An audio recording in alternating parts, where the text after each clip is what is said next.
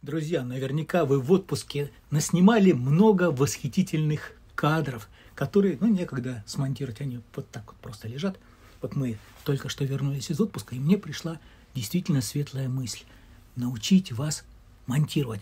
Смонтировать домашний фильм вместе с вами. Я буду монтировать вот эти кадры, научу вас этому способу. У меня есть специальный способ. Это будет курс за донат. Но перед этим вам нужно со мной созвониться.